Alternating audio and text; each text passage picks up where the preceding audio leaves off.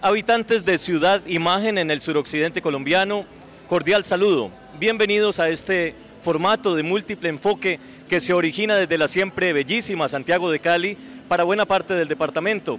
35 de las 42 localidades que llenan de magia, color y encanto esta región de la geografía nacional. De igual manera, un abrazo para quienes nos siguen en el norte de la vecina y hermana comarca caucana. Ciencia, arte, economía, deporte, salud, tecnología, innovación, los temas de su interés en Ciudad Imagen. Con la venia del Padre Todopoderoso, dirige y presenta Francisco Javier Agudelo Montoya.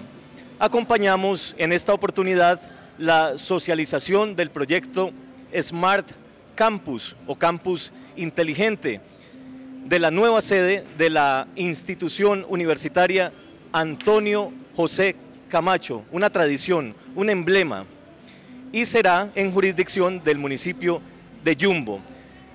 Muy amablemente nos atiende el ingeniero Hugo Alberto González, rector de la institución.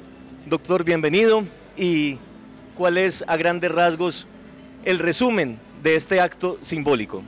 Bueno, este acto lo que pretende es socializar a la sociedad, no solamente caleña, yumbeña, sino a todo el suroccidente colombiano. La magnitud de proyecto que estamos planteando aquí, que no es solo un proyecto de construcción, es un proyecto de desarrollo de una nueva forma de hacer academia, que sea eh, un vínculo eh, fuerte entre la institución de educación y las empresas. Es decir, lo que queremos es que esta universidad, que va a estar ubicada aquí en el corazón productivo de Cali, de Jumbo, pueda, además de ser una institución para los estudiantes, ser una institución para las empresas. Usted referenciaba, ingeniero, en su intervención, las problemáticas de las ciudades en este caso de Santiago de Cali, de Jumbo, cómo ofrecer posibilidades para afrontar esos desafíos desde este nuevo modelo del conocimiento y la academia. Por supuesto, una de las principales dificultades que existen hoy en día por naturales por el crecimiento de la población y por el crecimiento de las ciudades es la posibilidad de ofrecer servicios, servicios a la ciudad. Servicios no solo servicios públicos domiciliarios, sino también servicios de transporte, posibilidades de acceso al trabajo. Y desde esa perspectiva es que se plantea también la formulación de las ciudades inteligentes. Entonces, la, la idea es mitigar las los modelos presenciales, es decir, disminuir los modelos presenciales y generar innovación a través de unas propuestas que permitan que los estudiantes que vengan a la, universidad lo hagan a desarrollar acciones fundamentales y significativas. Es decir, que muchas de los, del conocimiento ya está disponible, está disponible en redes, está disponible en repositorios de información. Entonces, ¿qué es lo fundamental de venir a la universidad? Es poder hacer trabajo en laboratorios, poder hacer proyectos, poder hacer coworking, poder hacer ejercicios de innovación abierta. Eso es lo que buscamos que sea esta universidad. Un gran ambiente, es nuestro Silicon Valley en el municipio de Jumbo. ¿A qué monto asciende la inversión de esta primera fase? La primera fase, incluyendo la compra del predio, que fueron 24 mil millones, más los 1.600 que costó más o menos el, el proyecto del plan maestro, y el primer edificio son 53 mil millones de pesos, pero el proyecto completo es un proyecto de más de 250 mil millones de pesos. ¿Cuándo estaría listo el primer edificio ya construido? Ya los recursos están, lo fundamental es que podamos avanzar muy rápidamente en un trabajo articulado con el municipio de Yumbo para que puedan muy rápidamente salir los permisos y lo que se requiere para iniciar la construcción. Si podemos desarrollar esa actividad lo suficientemente fluida, podemos tener ese primer edificio este año. En síntesis, ¿cuál es la historia de la institución universitaria Antonio José Camacho? La institución universitaria Antonio José Camacho nace como una escuela de tecnología electrónica creada por el doctor Tulio Ramírez al interior de el colegio que lleva nuestro nombre también, el Instituto Técnico Industrial Antonio José Camacho en la 13 con 16.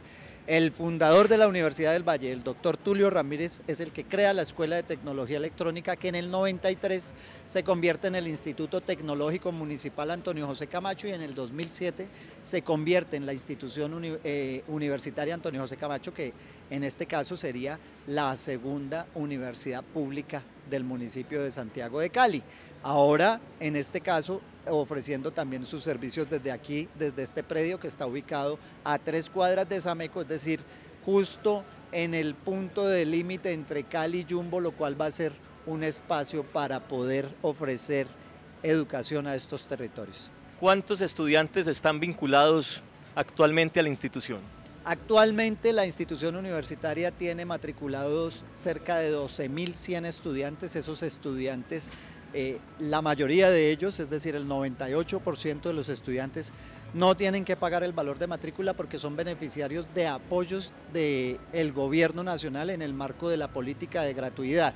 Solamente unos 500 estudiantes son los que deben pagar el valor de matrícula, pero además de eso no pagan el valor completo, sino que por los programas de apoyo que tiene la universidad también ellos tienen acceso a unos descuentos. Una de las apuestas que estamos haciendo dentro de todo el desarrollo de la infraestructura es que un área de la construcción se va a destinar como un parque tecnológico.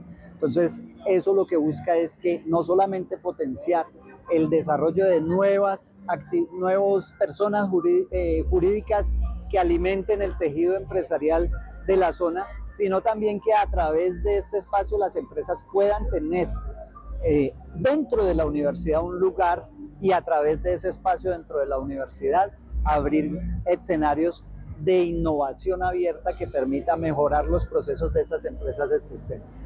Esa es una gran apuesta que esperamos que sea muy exitosa para todo el propósito de interrelacionar la academia con las organizaciones.